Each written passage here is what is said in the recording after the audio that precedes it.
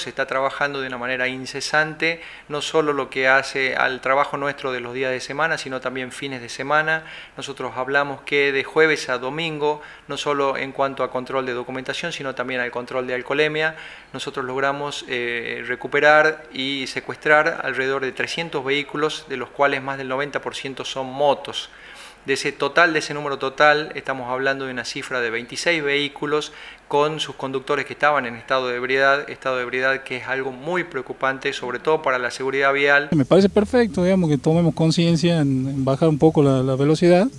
y, bueno, más en mi caso tengo hijos, para, es una cuestión de conciencia. Esta campaña Baja un Cambio tiene 3.000 seguidores, invitamos a la gente, a todos los comprovincianos a que se sumen a esta campaña, la van a, la van a encontrar en el Facebook, se denomina como usted lo dice Baja un Cambio